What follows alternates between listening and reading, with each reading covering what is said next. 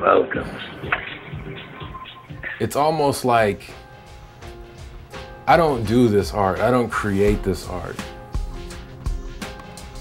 It's like the art is coming through me in a way because I don't think about it while I'm doing it.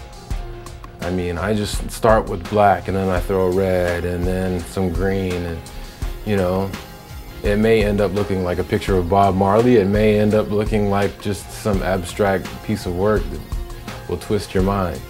But really, sometimes I feel like I have no control over it. And it just keeps coming out and keeps coming out. The flow of it is so incredible.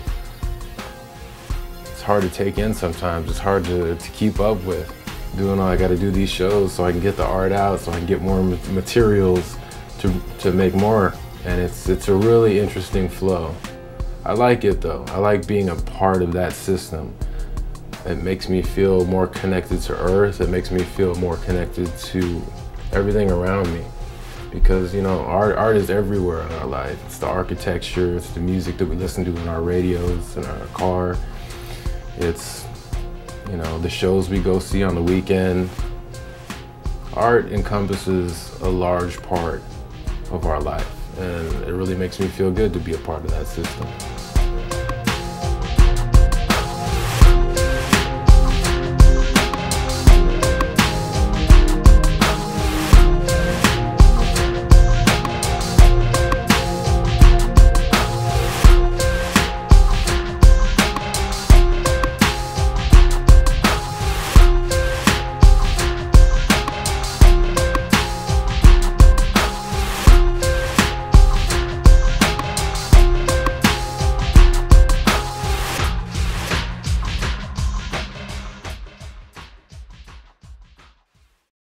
My name is Joshua Newborn. I was born in Hollywood, California, May 25th, 1977. I'm the son